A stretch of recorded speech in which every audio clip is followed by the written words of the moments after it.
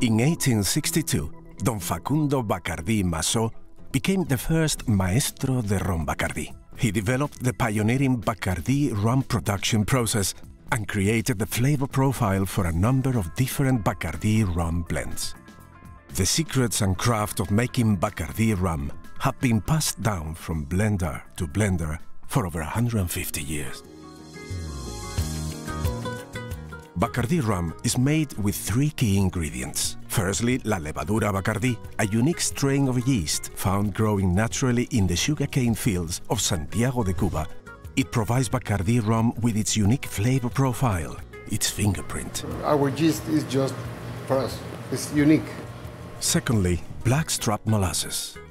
All the sugar that you cannot make in crystals, that is the molasses with the final ingredient, of course, being water.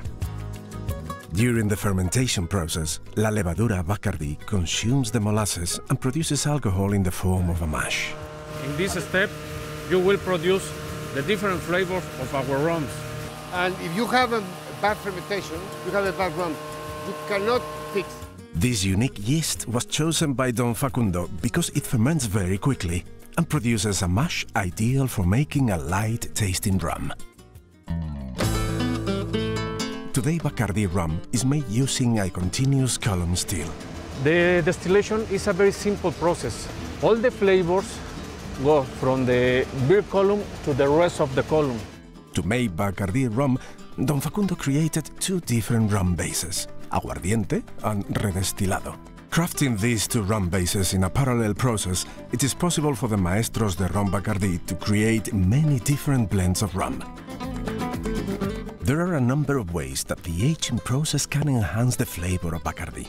It takes on some characteristics of the wood. The flavor compounds react with each other and evolve. A thin layer of charcoal removes unwanted components. Let me show you the charcoal. Mm -hmm. It's very important this treatment because you can change the profile of the product.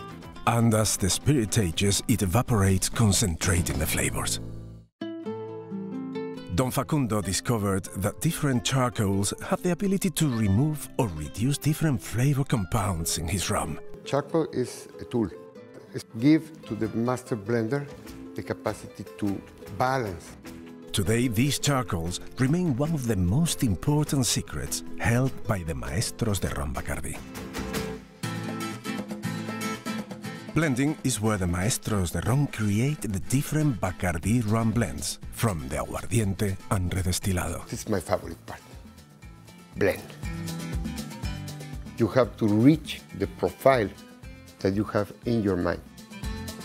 It's a unique moment for us. Nobody blend except the maestro.